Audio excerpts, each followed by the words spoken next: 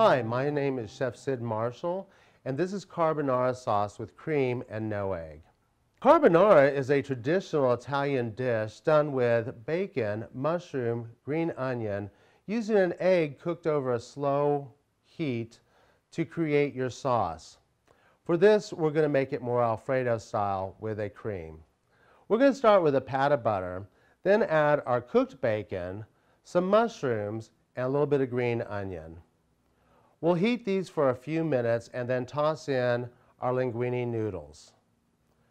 We'll continue to heat this for a couple of minutes, then slowly incorporate our cream.